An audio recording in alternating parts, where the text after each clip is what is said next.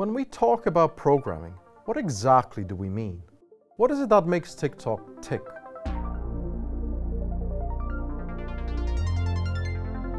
There are many roles that go into building successful software and platforms. Where could studying computer science take you? I want to teach you how to think like a programmer and understand the technology powering our digital lives. Programming is an art, a science, and a craft all at once. It's the magic wand that brings to life websites, apps, and complex software systems.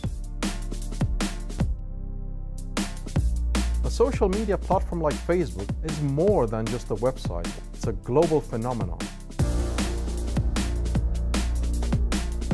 As future creators and curators of digital platforms, we must consider how they may impact users' mental and emotional well-being. I'm Dr. Razvan-Ioan Dinita, and this is your Subject Spotlight.